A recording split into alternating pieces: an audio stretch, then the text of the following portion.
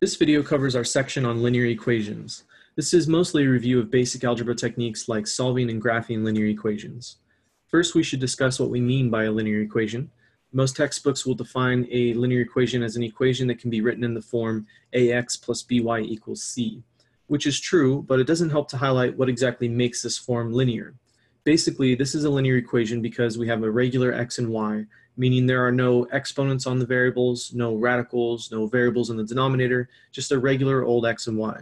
We can contrast this with uh, the sections we'll see in the future where we might have an x squared, and automatically that means it's not linear. Or we might have something like uh, 5 raised to the x power.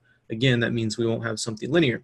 So if you see an equation like either of these where there's just a regular x and y, you can assume that it is a linear equation. Now, this is what we often call standard form, the ax plus by equals c, but it's not that useful because it doesn't tell us anything about the equation. Often we prefer y equals mx plus b, which is our slope-intercept form, because it tells us some stuff about the equation and it's easier to build an equation in that form. We will, we will look more at that in our uh, second section on linear equations. For this section, we'll be reviewing just some basic uh, concepts of algebra, such as uh, when you want to manipulate an equation to solve for a specific variable, a, you can add or subtract a number from both sides of an equation, or you can multiply or divide a non-zero number from both sides of an equation. For example, in this equation here, if I want to get all my x's on one side, I might choose to move the 2x to the left-hand side to combine it with the 4x. Because it's a positive 2x right now, I could get rid of it by subtracting 2x from both sides. Right, so uh, good old algebra techniques that we'll be reviewing and implementing when we work with some linear models. And lastly, we'll look at some intercepts in graphing.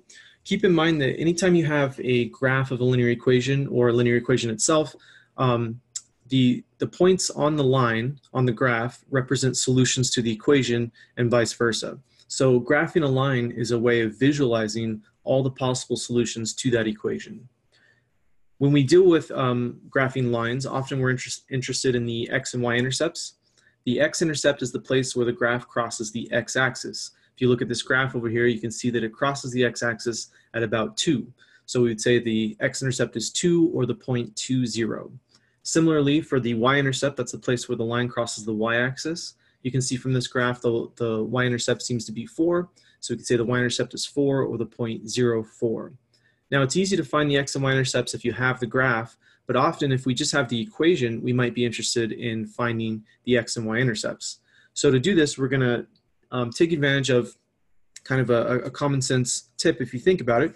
Um, anytime you're on the x-axis, that means your y-coordinate is zero. You haven't went up or down at all.